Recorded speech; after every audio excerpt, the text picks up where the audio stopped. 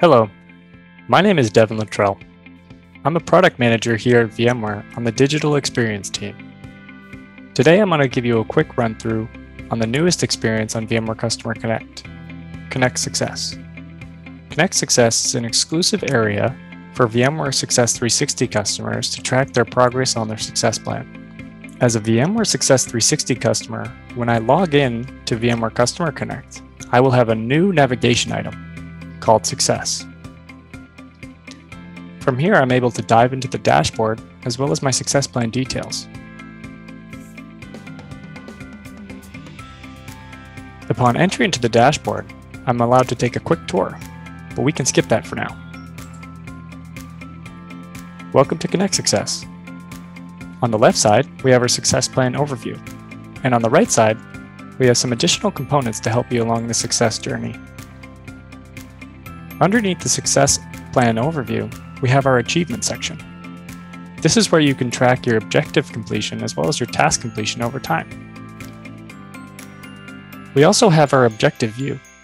This is going to show us all the objectives in our success plan and the details that correspond.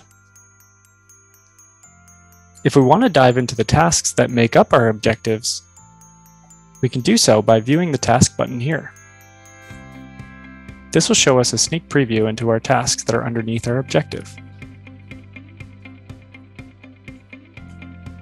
On the right-hand side, we have our Success Executives contact card, as well as a total task rollup. This will show every task broken down by status. Additionally, we have our external links to help you learn more about VMware Success 360 as a service. If I want to dive into the details of the success plan, I can select the View Success Plan Details button. This will bring us to a page that'll show us all of our objectives and tasks broken out.